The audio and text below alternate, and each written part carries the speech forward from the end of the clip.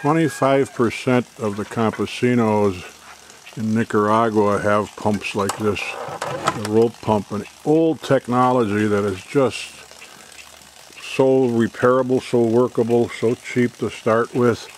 Obviously you can use all kinds of wheels, it can be powered by wind, water, motors, or let's let's drag in a slave, what the heck.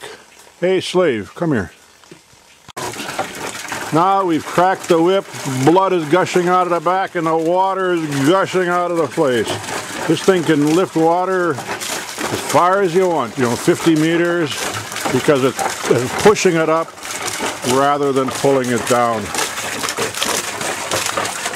Pretty darn neat. You can use uh, just rope, you can use rope with a knot, you can use rope with washers cut out, and obviously the wheel can be bicycle, wood.